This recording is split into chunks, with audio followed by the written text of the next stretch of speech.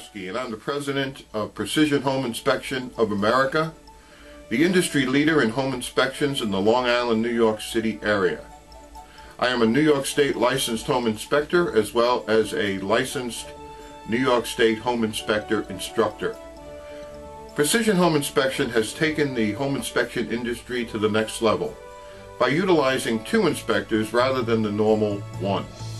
We feel that two inspectors makes for a much more comprehensive inspection and one that most people want.